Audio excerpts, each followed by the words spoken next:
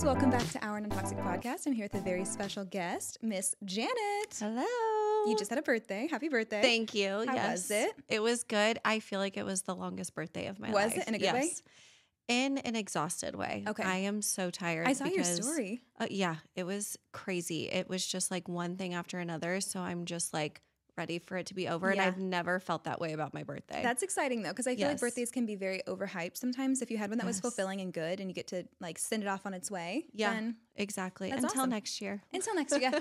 Au revoir. See you again. Yeah. so I want to get into a lot of things about you, but let's start with the most basic thing, which is the report. So the report is what you're reading, eating, playing, obsessing, recommending, and treating. Okay. But I'll refresh you as we go through them. So Perfect. What are you reading these days? Um, I told myself I was not going to read another book until I finished the Bible. Uh-huh. So I'm making my way through It's that. very noble, very admirable. I'm I'm really trying because I have gotten so many book recommendations from my friends lately and I just keep having to turn them down and it just makes me want to finish it even Yeah. more so.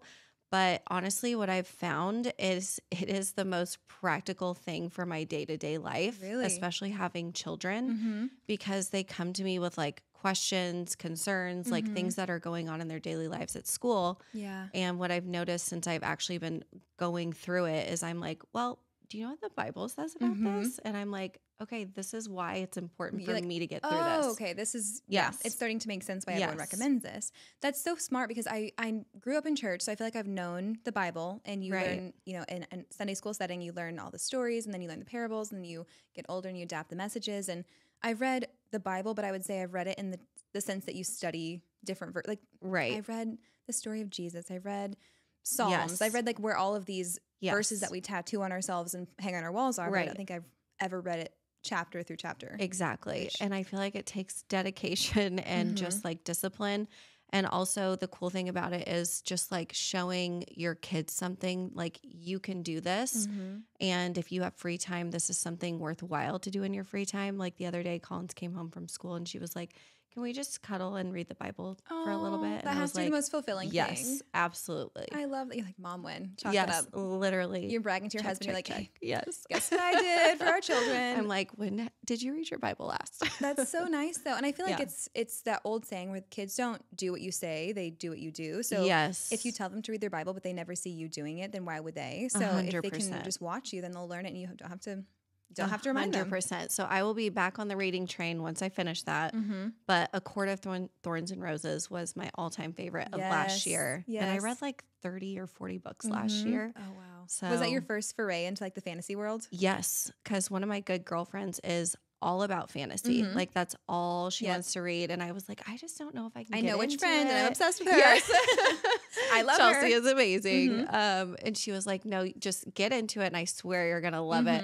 And by chapter one, I was like, Oh, I don't know if I can do this. I felt and the then, same way. yes, and then you just like push through, and then I was like, I can't believe I've never read any kind of series Right. like this. You're like, I can't go back to normal books now. No, That's now how I'm I felt. fantasy obsessed. Well, I loved fantasy and science fiction and everything that's not real before that. Yeah. But even starting the series, and I think it's that way with every new thing you get into it. And I'm like, I don't care enough yet to read through this. So you have to just like trudge through, and then finally you get to a point that you can really Character development is not my favorite. No. I like to get to the point where I know the characters enough Right. to like obsess over them. Yes, And it's always a switch where I go from not knowing, not caring, and then all of a sudden I'm like, I need to know this every is my detail. life. Yeah, yeah, exactly. And that's how I get whenever you want to like look up the fan art so you can picture the settings, and especially in these mystical worlds, like what do the monsters look like? What do the characters look like? But And you then- don't want spoilers. Yes, but the fan art is never as good as it is in my mind. Yeah. never. So I agree with that. It's just never gonna. The thing I have a hard up. time with is locations. Like I can do people and I can Yeah. like imagine the creatures and all of Mhm. that, but the locations are what I struggle with. And I have this thing Really? that I feel like my brain is broken where I can't picture something unless I've seen it before. I have like a horrible location imagination. So you you're a super visual person. Yes, yes. And if I'm if I'm trying to picture like of all the books that I've read, about 15 of the main characters like live in the same place in my head because I can't picture any other locations. That is So, too funny. I guess I should get out more or like watch more HGTV so I can picture different no, I spots. think it's just like a like a brain thing. Like your brain either Mhm. works that way or it doesn't. or it just doesn't work. That's fine. It just Or it's not, just broken. That's me. Yep. Well, I'm glad we're on the same page with the Court of Thorns and Roses. I'm reading Throne of Glass right now, which is really good, but it's Okay. like the, the flagship series, I think, of Sarah J. Yes. Maas. So it's really good. I just need to get Yeah. through. It's similar to where I think every stage of the book series, there's new plot development happening. Yeah. And you kind of figure out with ACOTAR early on what the big thing is. Right. And in this series, I feel like you're always uncovering more of like what the plot actually is. Mm. And I like those that. though. It's really like it's the great. slow drips are good Mhm. I can't wait because I to be a need to keep series. guessing. Yes. Yes. You would love it, I think. I can't. I mean, if you loved ACOTAR, I assume you would love this one. Yeah. It's a little bit more fantasy based, but it's just as like gripping, and I love it. So I'm it's gonna have to get into that. my comfort read. Yes. Okay, what are you eating these days? Do you have a favorite food or a snack? Oh, favorite foods and snacks are so hard for me because I like go through obsessions. Mhm. Like I make myself eat something so much that I get sick of it. Mm-hmm. Um, so right now I, that. don't really have a big obsession. Um, I don't know if you've ever been to Korea here in town. Yes, It's I thought you were gonna say the country, and I was like, which one? No, I haven't been. But yeah, Korea, the restaurant, It I is love. literally so good, and I'm obsessed with the spicy peanut chicken. Mm-hmm. So if anyone hasn't tried that, it's like a must Yes. try. It's almost like a, it's like a Chipotle if it were better. Yes, and it's if more it was like a- real. Yes, Yeah. yeah, yeah, exactly. And it's local, but it's. It's like a Thai food kind of. yes. So like it's spicy. I don't know. It's just different. It's so good. I get the Yes. spicy bulgogi, and every time I go, I'm like psyching myself up to say bulgogi because I can't No, say I it. literally won't order it because I don't know how to say like, it. can I get a number seven? yes, that's what I like, need to "Mm, do because okay." it looks good, but I It's really literally good. can't say the word. So I'm like, Mhm. I'm just not going to embarrass myself. Oh yeah, and it comes in that like hot cauldron that just keeps your meat so warm that you can't even eat it, and then I my tongue burns off. called it a cauldron. what they- else is it called? It's called a hot stone. it's called the hot cauldron. I I I'm don't order it that way. I'm gonna pick that up. Actually, I'm just gonna take say- that with me. just order it. Just order number seven. Don't ask for that again.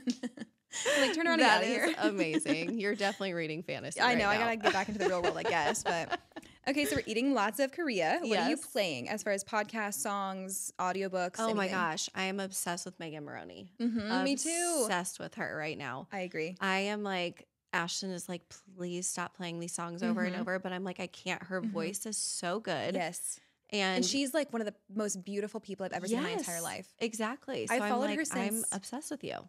I'm right Yeah. there with you in the Yeah. in the fan club. But I I remember following her back when she was in a sorority, and I was like, she is so. I followed her for probably seven No years, eight years. Because she was one of the just college influencers that just Okay. I don't want to say she's famous for being I, hot, ha- but I at the beginning, know that. That's yeah, amazing. She's been she's been famous for a while, at least in the influencer space. And I used to follow her fitness page because she had like Megan Moroney Fit, and it literally inspired me to You're start my own literally blowing page. my mind right yes, now. Yes, like I I was such a fan. Like she had her page, and I was like, I should start a fitness page, and then I called it Hannah McClelland Fit because I'm so creative. And Yes. she, I don't know why I unfollowed it.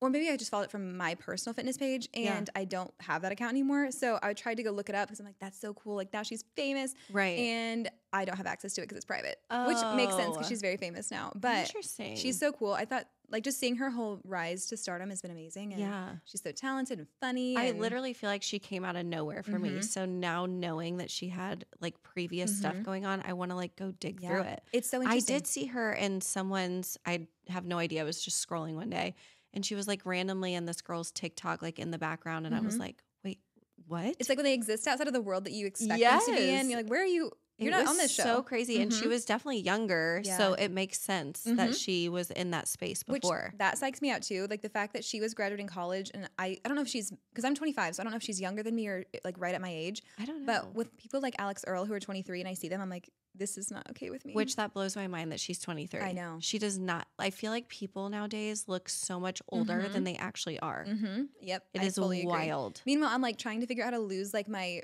like round cheeks that I've had since I was 15, and I'm like, It'll happen. how does this happen to me? It'll happen. I swear one day I just woke up and I was like, Ashton, do I even look like the same person? Mhm. Like my baby face is gone. Yeah. And it just happened so gradually, but I it lo- will happen. I mean, I'm holding on to it. I've seen that graphic that everyone's seen of like Margot Robbie, which, come on, I'm not going to have that kind of transformation. But Margot. you know, you see people that just like their whole face, it's like all of a sudden just like, you know, It's just, like- cheekbones. Like, where'd you come from? Yes, So I love that. But I, I think she's she's well spoken and everything else too. But this Yeah. is about you. This isn't about these other two Oh, yeah. blonde, beautiful people. What This is about about you. So listening to Megan Moroney, do you favorite song? Yes. Um I feel like it right now it's lucky. Love that one. Yes, because I feel like she has a lot of I mean, she says that she plays a lot of black keys, but Mhm. it's so true. Like they're very like melancholy, Mhm. like kind of depressing.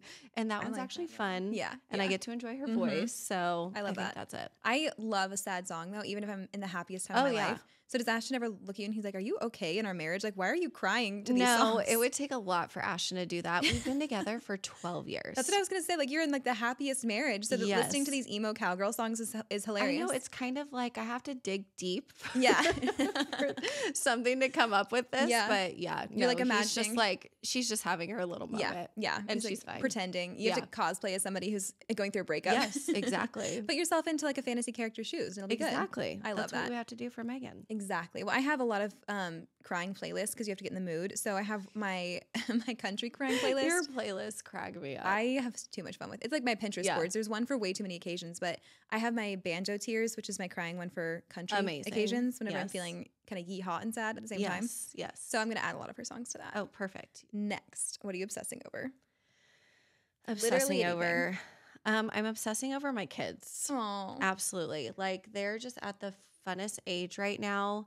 Um, tell us all about them. They are literally, I don't know, like at some point when you're a mom, kids become not babies, but like little humans. Mhm.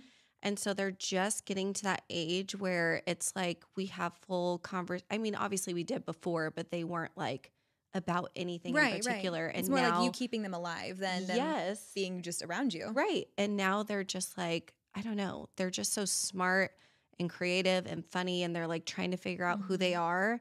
And so, like, I just want to be Yeah. all into that right now. well, your you son know. had a birthday. How old is he now? He's five. Five. So now I have a five and six year old. wow. Because my kids are only 21 months That's apart. crazy. Yeah. Yeah. Is that considered like Irish twins or what is the cutoff for that? I don't know what the cutoff is for that. Mhm. I would assume it'd be less than 24 months. Yeah.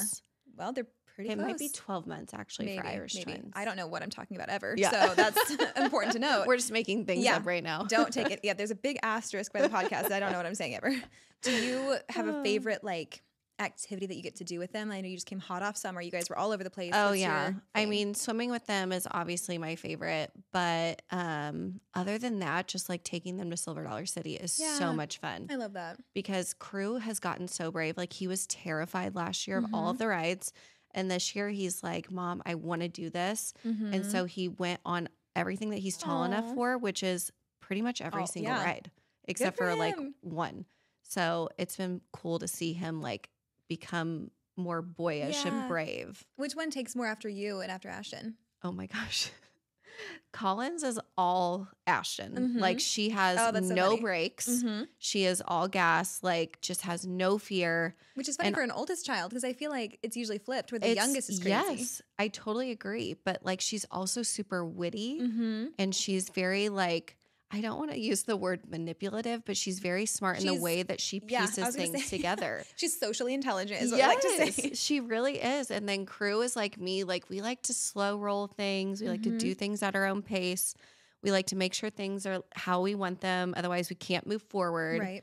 Like we're just. It's kind of crazy that we're flip flopped Mhm. though. That is so funny. I feel like that's the stereotype is that the oldest child, the oldest daughter specifically, is Yeah. very by the book, very almost timid and like nervous, neurotic because they want everything to go well. Right. And the youngest child is the one that has to like wear a helmet all the time because they're jumping off of things. So Yeah, I love that you flip that around. Definitely flipped. So we do not have second child syndrome. Yeah. He's crazy, But like in a different way. but in a different way. I love that. That's Yeah. so exciting. So we're obsessing over the kids. They're beautiful, by the way. Thank you. Is Ashton mad they both look just like you, or is he okay? they do not look like me. I, I think think, they that they do. look like him. Oh, really? Yeah. Maybe because he's got like the beard and he's a man, and it just I don't know. They both have his eyes. Like he has very big almond eyes that I Mhm. love and I'm so jealous of. Mhm. And I'm so glad both of our kids got those Yeah. because I'm like, yes, like that's the one Yeah. thing that just like I, don't do love that. Yeah, brightens their face. I feel like they look so much like you though. So Oh, maybe you just don't see it. But I don't. I don't. I think. I don't think parents can really see themselves Mhm. in their kids. you probably have to wait till you're told, like, Yeah. write that down, please. Like, tell me they look like me. Yes, it's the best compliment. I tell Mhm. people that all the time. If they ever say my kids look like me, I'm like, that is the best compliment. Oh, that's so sweet. Well, Yeah.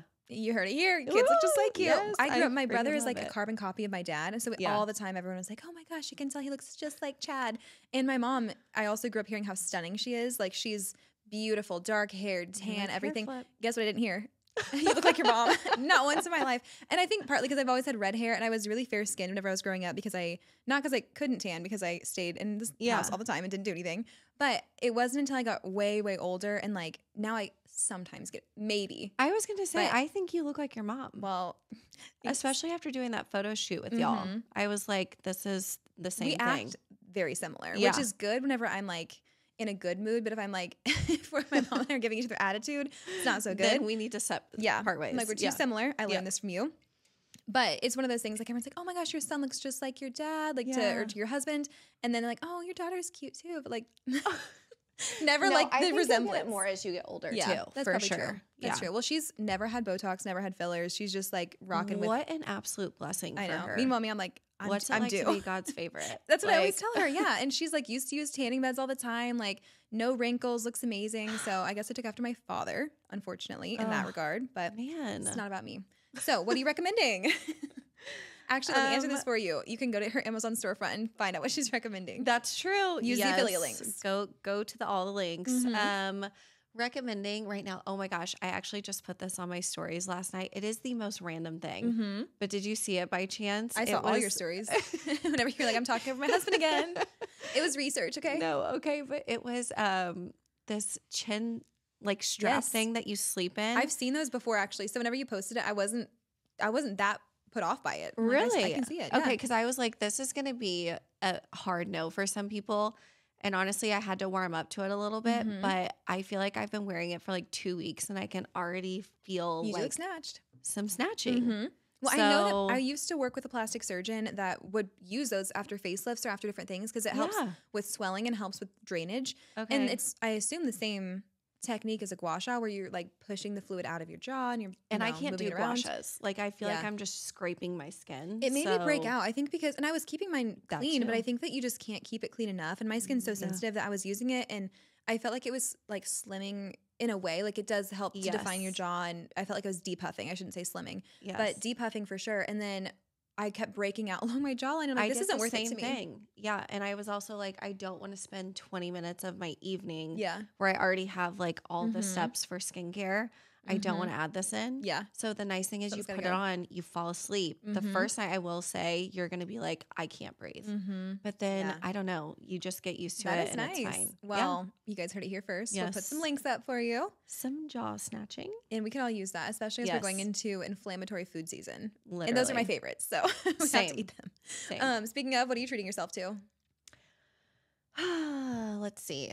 I used to not be a big sweets person, but I feel like lately I feel like you can Mhm. relate to this. You're a Oh, I can. big sweets girly. Big sweets girl. Um, so they're these little like sweet tarts, but they're two in one. So it's hard on the outside and then um like the softer on the inside. yes, They are so stinking good, Um, and I sold. cannot stop eating them. That's how I feel about Nerds clusters because they have like the crunchy nerds on the outside. And then you're like- gonna love these yeah. because I it's also stop, two though. flavors. I really do. I'm No, you don't. I, No, you don't. It's okay, fine. okay, you're fine. You're right. I mean, every, anyone who listens is gonna be like, I say every single week, I'm trying to cut back on candy, and then every single week I'm like, I found a new candy. yeah, and then I'm posting on my stories eating At Nerds clusters again. it's a game to like Yeah. find new candies that I Mhm. like. I need to stop because I, I do care about my health. I know it doesn't seem like that, but then I go online and everyone's talking about Red 40 and endocrine disruptors, and I'm like, but I love. but at some point we have to live our lives. I agree. You I know what I mean? Like it's a fine balance. I Mhm. try to do fasting. I try Mhm. to do whatever, all the things Yes. organic.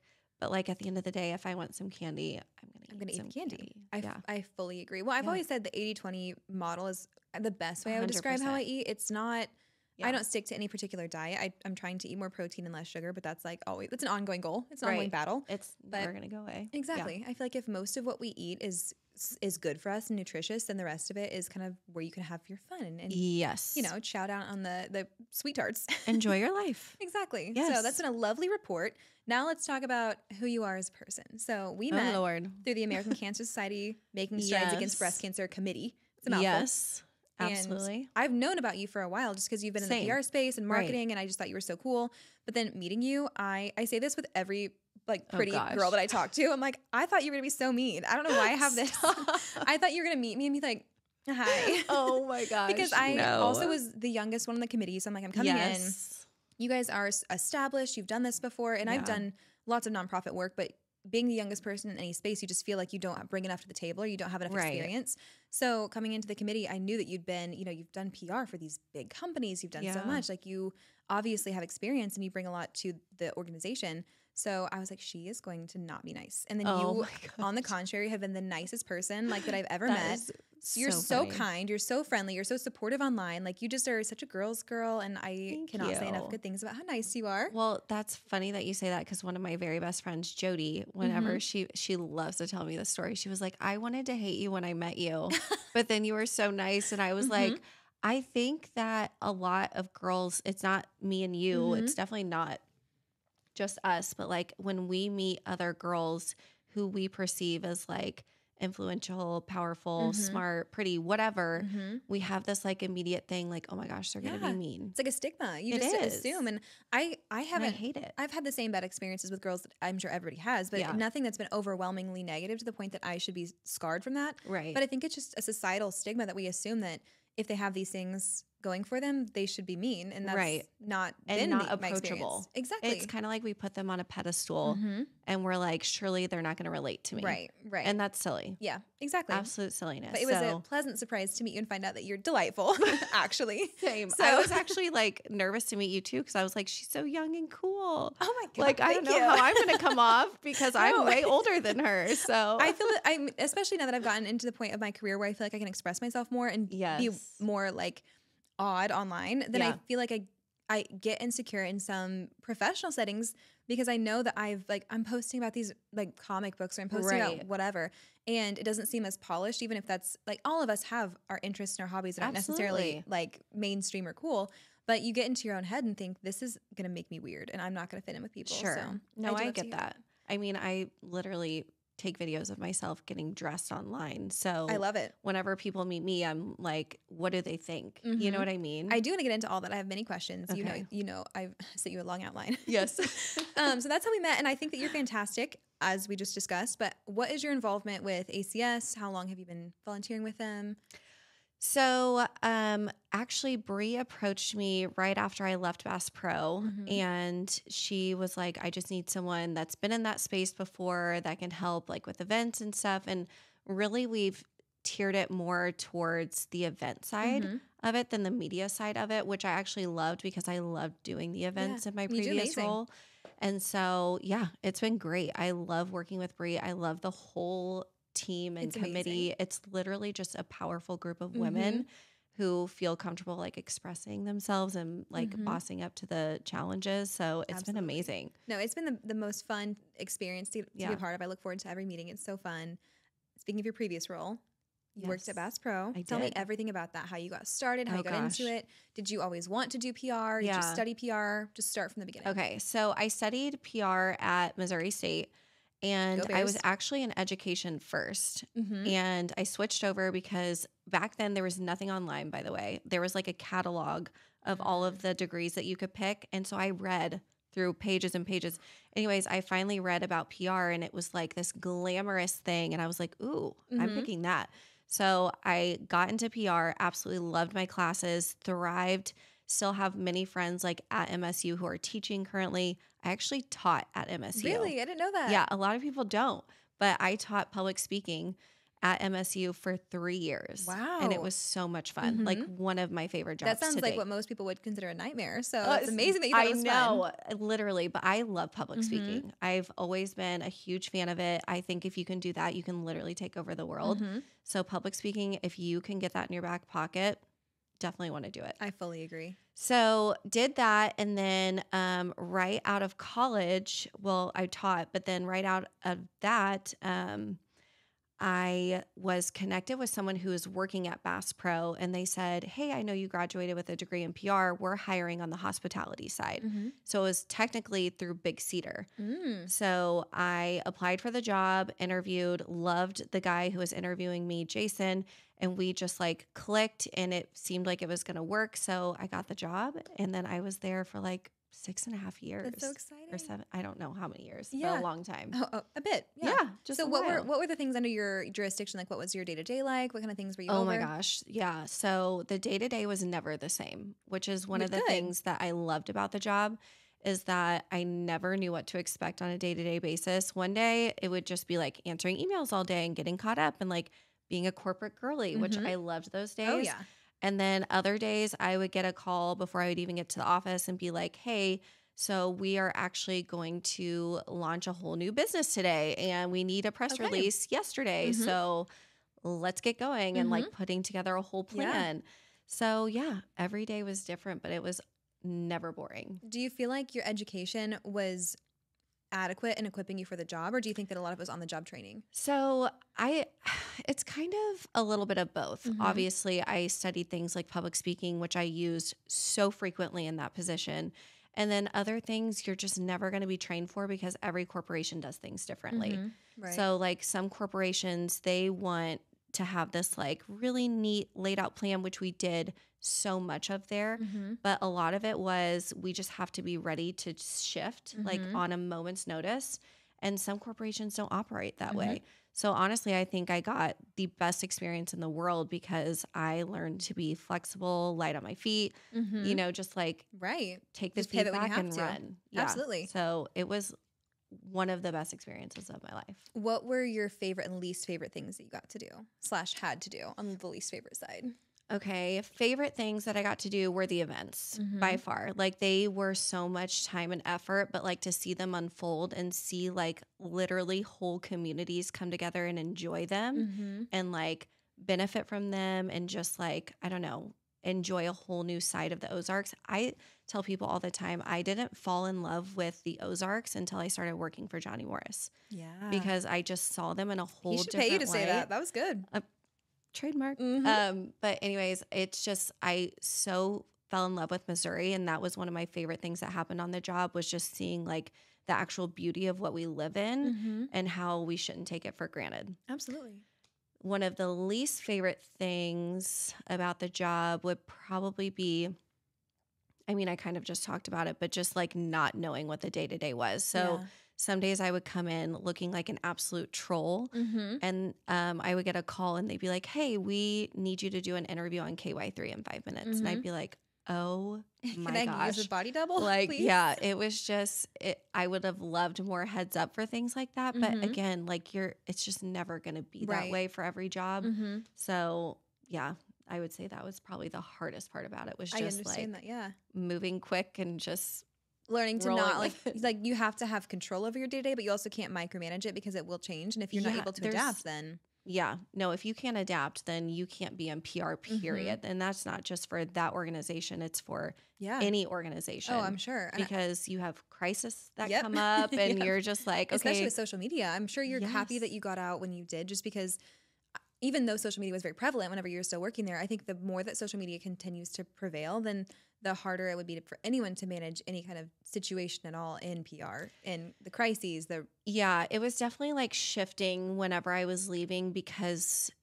before it was like social media would be on this side of the wall and then Mhm. PR would be on this side of the wall. Right. And now it's just like if these things aren't completely intertwined, it could be such bad news for Absolutely. people, you Mhm. know? So a thousand percent. um, yeah, it was about to be a big shift in the market. And Yeah. I just decided to go a different way, mainly because Ashton, my husband, got a new job Mhm. and it was just like he was going to be traveling all the time. And it was just, I couldn't do it. Right. You know what I mean? Well, that's We one of the questions that I had for you. Um, we will jump around because I have many questions for you. But I know that you were very successful in your career and you had gotten to a point that most people aspire to get to. I admire your career and I think that a lot of people would love to hear advice on how you got there.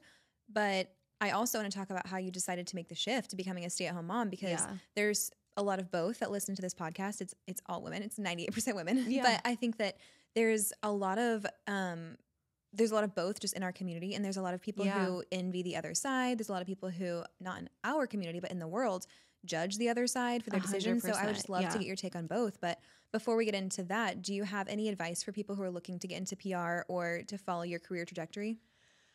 For PR, I would say my biggest takeaway from my experience would be that no relationship is too small. Mm-hmm. Like every single person that I met along the way, I'm so grateful for. And at some point, they had an influence in my career. So, like, if I was at an event and I met someone who wasn't even closely related to media relations, public relations, whatever, Mhm. at some point I was calling them a year down the road, a month Yep. down the road, and I had to use them for something that I needed. Mhm. So every single hand that you shake is so important. And I mean, that's how I got into the role in the first place was because I knew someone who worked there Absolutely. and told me about Mhm. it. So there's no relationship too small. And you never know what position people are going to be in down the road Of either. course. So I would just say meet as many people as you can and literally just be there for them in their career as you would like them to be there for your career. Well if that makes sense. That's absolutely true. Okay. And that's I'll I'll double down on that because whenever I first started, um, I was working in finance and commercial Mhm. lending. And a lot of the connections that really helped me launch my business were through the nonprofit space. So Yeah. volunteering and there were so many people that I met that I had no idea that it would ever be reciprocal because I had no need for that. Right. So just getting to help them in a way that was kind of independently beneficial. So we're helping this third party cause, but yes. then taking those relationships that you built because they're not I'm not helping them, they're not helping me, we're both just working towards this common goal Mhm. then you build this rapport with them and later we can call on each other for whatever it may be. So it really helped me get some some initial clients and help me grow my reputation at the beginning whenever you're just trying to build that framework. So it's so important and things I feel like people don't talk about it enough. absolutely. And networking is kind of a lost art just with the invention of linkedin and the internet. You can meet people through you know never having to shake their hand at all so Right. when you say every hand you shake is so important i think it's also crucial to note that you need to be shaking hands to make those connections Yes, not everything is digital. Yeah. It is so important to like show up in front of people and just be yourself, mm-hmm. connect with them, be useful to Yes. them, and also like humble yourself. yes Like whenever I would shake someone's hand and like they were, you know, either the CEO or I don't know, just like a marketing junior, mm-hmm. I would be like, how can I help you? yes You know, like how Mhm. can I make your day easier? absolutely Because at some point you're going to ask for favors too. Exactly. And no one wants to be that person that you don't want to respect someone or you don't give them the time of day until they have something to offer you because then maybe at that point you have nothing to offer them. So you have to give Yeah. that respect to everyone, whether you think that they have something to offer you at that moment or not. Because For sure. one, that's just a decent thing to do. But even in a career sense, if you're giving that respect and that, you know, kindness and communication and helping them in their career, then it, it definitely does come full circle. And I've seen that many times. Yes, totally agree. So write that down if you're looking to get into PR. But Mhm. as you got to this point, so Ashton gets his different job, you know he's going to be traveling. And what was that decision like for you guys? Was it something that you brought to him? Were you kind of feeling that pull in, internally? So what's funny is before he got the job, I told him I was like, I don't know what's about to happen, but I just feel that there's a big shift that's about Mhm. to happen, and I don't know if it's with you, if it's with me, whatever. And he was like, Okay, well, if you're not sure where that's coming from, like just pray about it. Mm-hmm. So I really dove into it, like prayed about it. I was like, You're putting this on my heart, God. Like, what is what's what's about to happen? Mm-hmm. And so I started to get this like overwhelming feeling that whatever my next step was wasn't going to be at the current position I was in.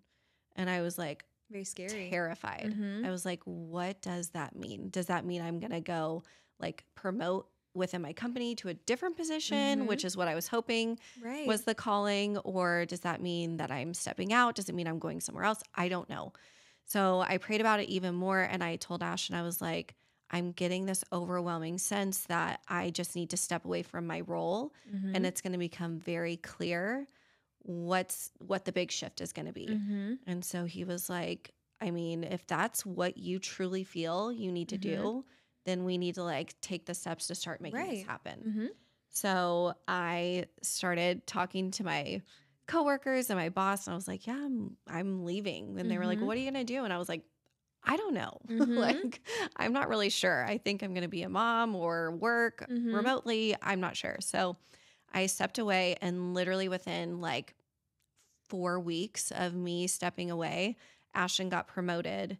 And with the promotion, he was going to be traveling more. And so that meant we needed a parent with full flexibility Right. to be able to do all the things that kids are going to do Right. because they were about to start school, which started their their school time starts after I would have been had to have been in the office, Wow. and I picked them up before I have to Mhm. I, before I would have been Right. done at the office. Mhm. Just So- logistically not even feasible, let alone would you have had the, the Right. flexibility to do all the extracurriculars with them. It just it just wasn't going to happen. So it was definitely God's covering over us Mhm. during that time. And it just like transitioned so smoothly. But I did have a hard time of letting my career go.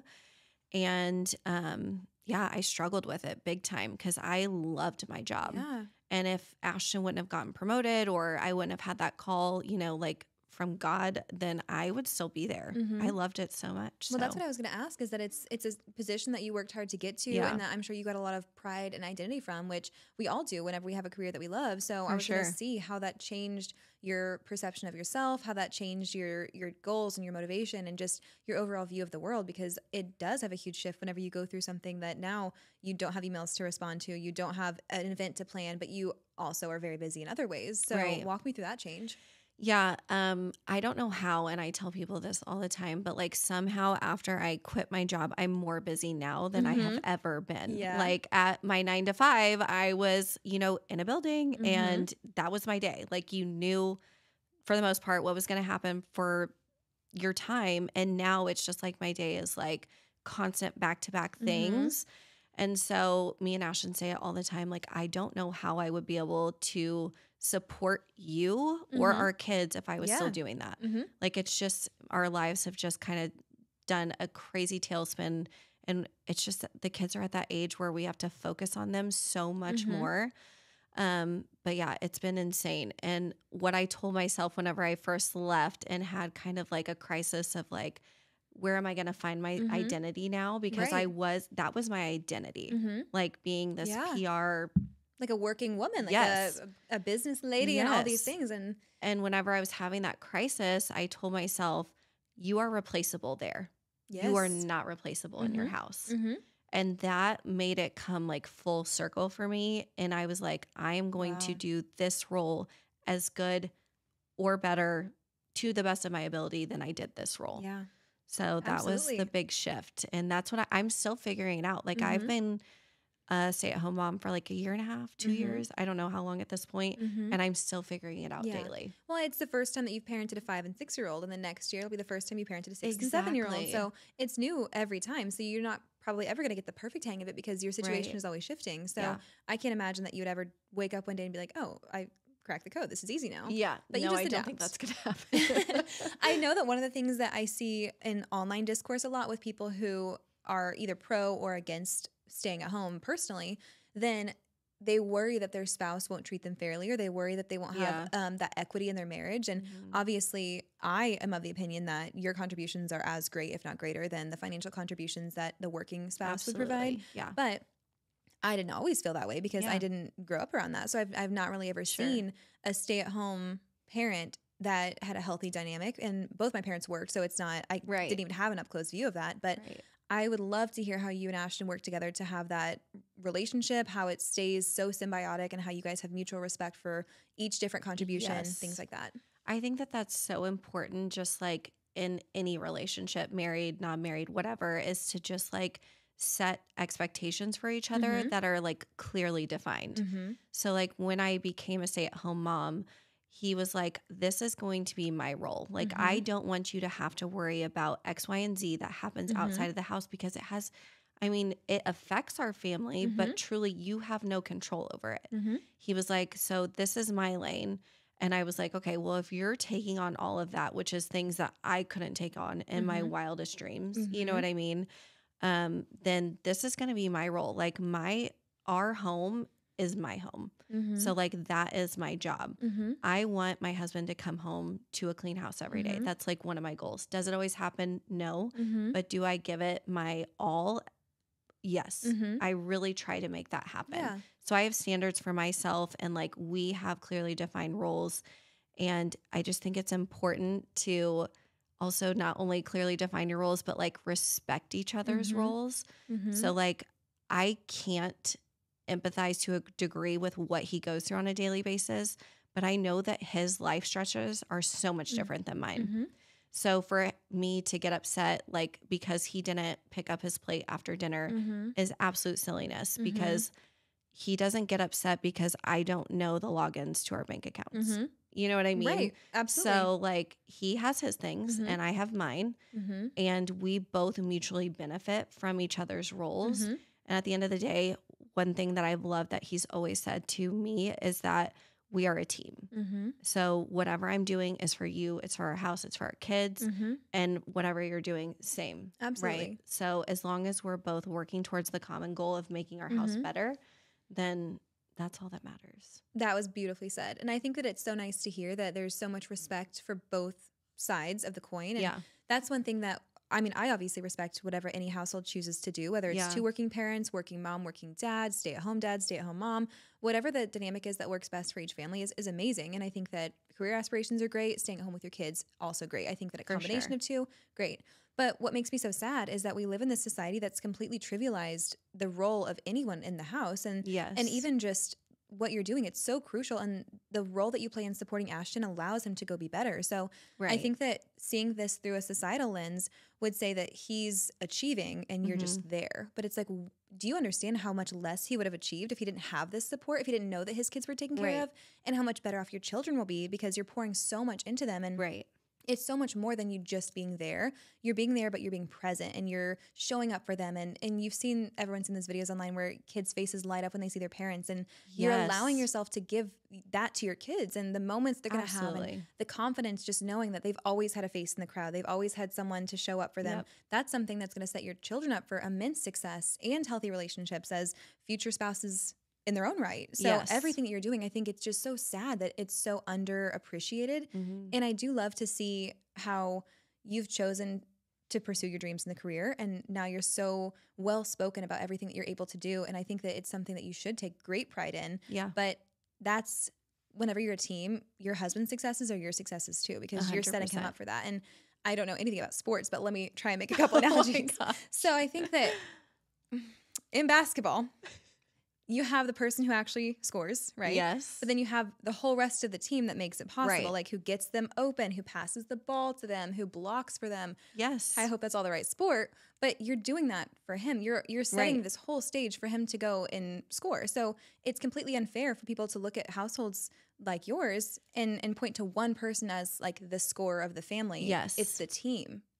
I agree with that. But then I also agree. I think that people need to shift their mindset a little bit. So, like, yes, I am setting Ashton up for success because I'm doing so much on the background, but he's also setting me up for success. Yeah, I never thought I would be able to go pick up my kids from Mhm. school.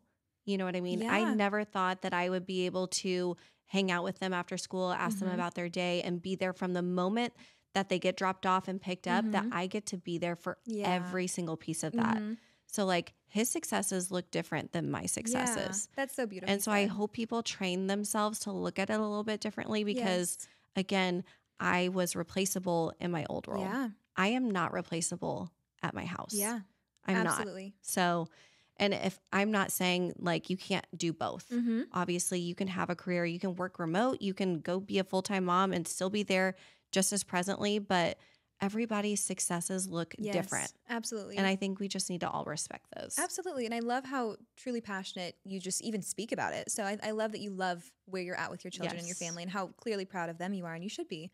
Is there anything that you would like to say about the role of being a stay at home mom? Anything you want to clear up or just. I'm sure you've seen things online where we all exist on the internet, and there are some people that are just so polarizing either way that. Um, I don't know. I really think that it is kind of polarizing, but I do feel like there are some minds that are shifting as to what success looks like. Mhm. Um, I know that whenever I stepped away from my role, I feel like there were some people who may have looked at me differently because Mhm. they were like, "Oh, you're oh, you're staying at home. Mm-hmm. Cool." Mhm. Like just Yeah. letting go of your career and it's Yeah. just like that was kind of disheartening, but at the same time, I don't owe any of my life choices to them. Absolutely. So what they go and lay their head down at night, they're not thinking about what I'm doing. Mhm. When I go down at night and I lay my head down and I feel accomplished because my house is better for what I'm doing, that's all that matters. Absolutely. And I feel like if you're helping your family grow and whatever that looks like for you, hmm that's all that should matter. Absolutely. And the sooner we realize people's opinions don't raise our kids Mhm. and don't keep them fed and don't they're not their opinions aren't in our marriage. Everything That gave else, me goosebumps. That Everything good. else is easier. Mhm. Absolutely. And I think that what you said before is that Ashton's success looks different than your success, but also your success looks different now than your success would have seven years ago. Absolutely. So your goals are different and you're allowed to grow and change and your priorities and your motivations and they could change again. Maybe you'll want to go back to PR, maybe you never will. So Right. as your kids get older, you have the uh, absolute flexibility to change what is most important to you. And I think that with this narrative that society pushes, whether it's that, you know, the career is the most important thing or that people who work are bad and, and demonizing that, the only mm-hmm. people that lose are the moms because they can't win. we And- can't and- win. It doesn't matter what we do. Exactly. And it's Yeah. just like the, the saying, like, fed is best when we're debating breastfeeding versus bottle feeding. It's like loved is best. So if your kids are loved at the end of the day, it doesn't matter if you go punch a clock, if you go to work all the time, if you don't, if, if your kids are loved, that's the most important thing.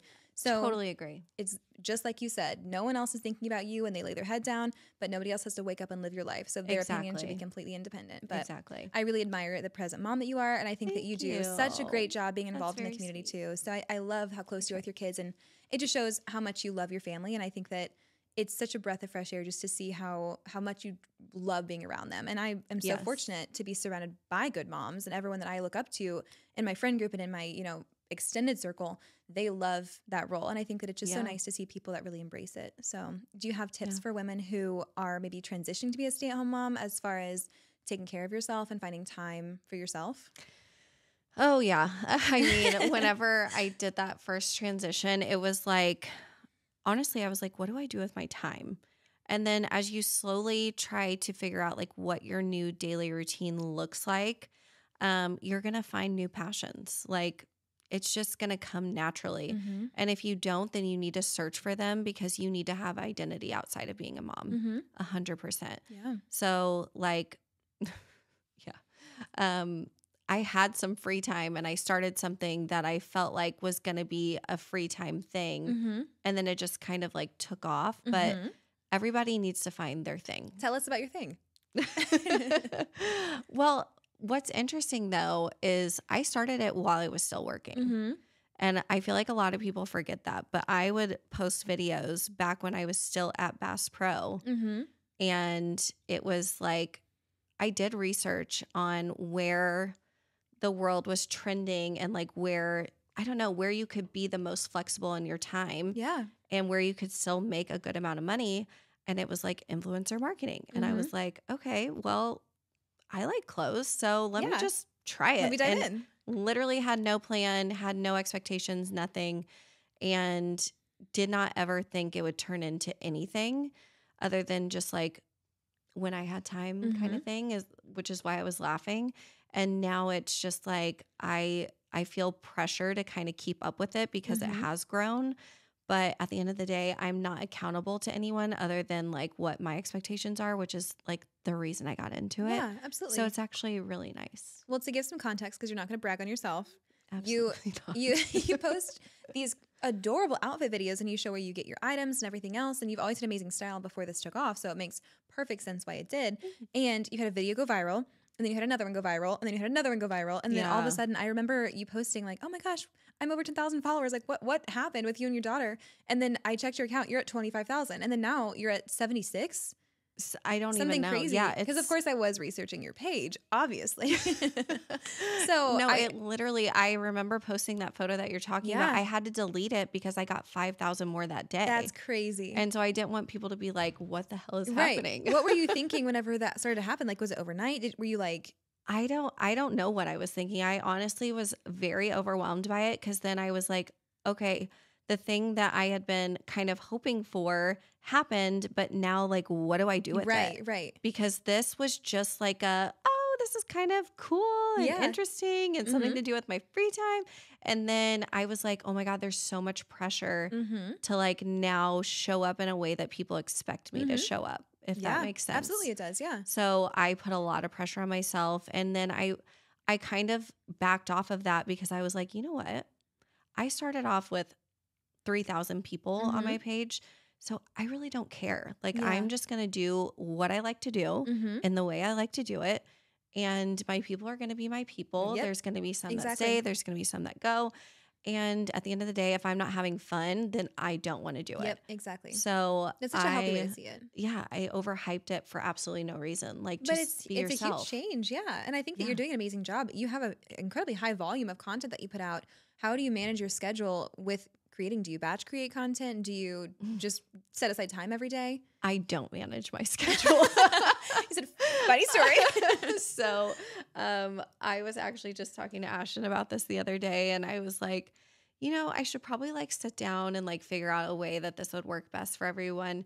And he was just like, you know, don't don't put so much emphasis on it. Like just keep doing what you're doing. Like it's Mhm. obviously working. But um I just kind of fly by the seat of my pants, mostly Mhm. because I know that this is gonna sound like a broken record kind of, but like my first job is being a mom. mm-hmm. So like if I have things that I'm momming all day, Mm-hmm. then my content's gonna wait Yeah. and everything else is secondary. So if I get an afternoon where I'm like, I don't have to plan a party for Mhm. cruise class or I Mhm. don't have to volunteer at the school, Mm-hmm. whatever, then I'll I'll put together some content. But there's going to be some times where I don't post and I'm okay with that because I don't have the time. Well, I I admire how much you do put out. So I think that you do an incredible Oh, job because every time you. I, I'm like, she's on her grind.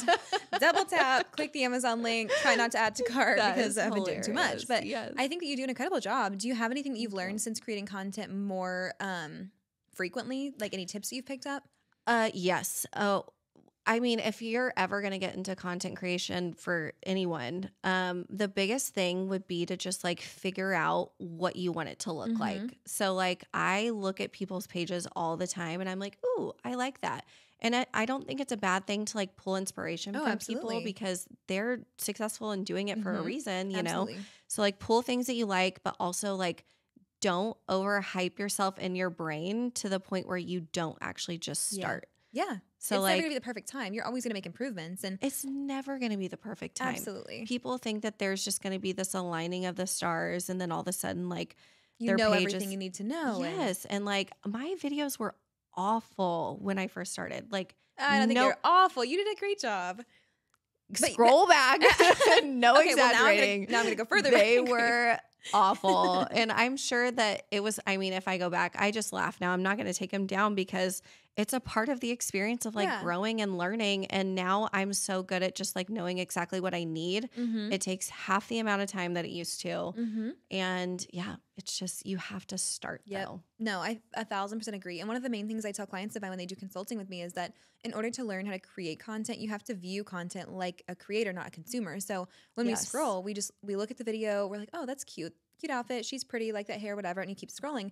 But whenever I'm looking at it now, I'm watching this video and I'm like, okay, she's doing super quick cuts. Those are probably 0.3 second clips. She's filming in front of a window, so you have this golden light in her face. She obviously has a ring light over here. You know, the soundtrack is this. It's in cinematic mode. It's this is with a camera Yes. and seeing how they film it like where are they moving where are the shadows in the frame like Mhm. there's so many more things that you look at and whenever you Absolutely. look at creating your own content there are so many things that you don't realize until you're editing a video and i know you've experienced this where you look at it and i'm like why didn't I realize that was visible in the mirror? Or like, why didn't I realize this? So, looking at other people's content through the eyes that I would have whenever I'm editing, you just learn so much more. Yes. And it's like a switch you can't unswitch. Yeah. Like once you're a creator, you're like, this is the only way I look at content now. Yeah. Like I know what these people are doing. Mhm. And it's kind of interesting. It's so true. Like my husband owns a masonry company. Whenever he drives on the road, he's like, "That grout's not good. This brick is oxidized," and he can't switch it off. But that's me with Instagram videos. I'm watching that, and I'm like, I can see the cord for the ring light. Yeah, and then I'm like, right. do I hide my cord from my ring light? Am I doing that right? No, I think that you're doing an incredible job. Thank so, you. do you have anything else that you want to tell us about yourself? Any projects you have coming up? Anything you want to plug? Uh, I mean, no, not really. I just have, I feel like I'm overwhelmed. Also, I have like 30 emails in my inbox right now that are just like collab opportunities, Mhm. which, So exciting. well, the thing is, I, I need to respond. Yeah. Like, I, again, I'm just like busy. And Mhm. so I probably pick up like one of every 10 that I get Yeah. because I also don't like being beholden to like restrictions Yeah. and like what my content looks Mhm. like. Of course. I want my page to be mine. So when people go there, they know that if it's on my feed, Mhm. it's something that I love. Yeah, and you, you, know what I mean? You're endorsing that thing, so you don't just want to sell out in a sense to things that you know just because they're going to write you a check doesn't mean that it's something that you want your name affiliated with. Exactly. And that's one thing I admire with you is that even with local collaborations that I've approached you with, and you won't say yes unless it aligns with your brand. And yeah. of course, it's always a question. It's never like, "Hey, I need you to do this." Right. But I really like that you stick to your guns whenever it comes to like what falls under your radar and what doesn't, Yeah. and what you want your brand to be. So I think that that's probably very crucial in in your line of work to say, this is where I draw the line. This is what I want to promote, and this is what I won't. Yes. Good for you. And what's interesting is, is ever since getting into this, the things that you realize are a lot of content creators will just promote like whatever they're getting paid to Mhm. promote. Yeah. And people don't even realize that. Mhm. So, like, just as a consumer, be aware Yep. because not everything that you see is something that you're actually going to want to invest in because these people are getting paid Right. to do it. And it's not always advertised that way. So, just be aware Mhm. that just because someone's posting a billion outfits a week, like Mhm. they're keeping maybe like one of those. Yeah. You know what I mean? That's interesting. so Mhm. just be aware.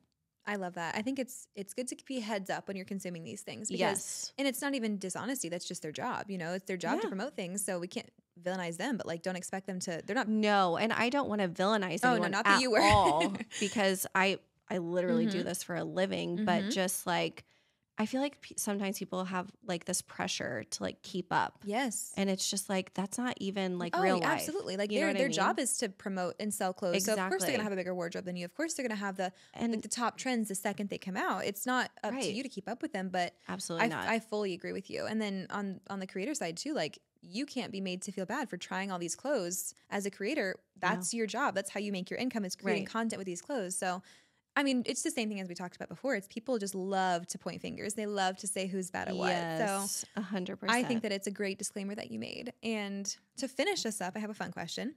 What fall trends do you see in fashion? What are your favorite trends? Anything along that line that you want people to keep their eye out for?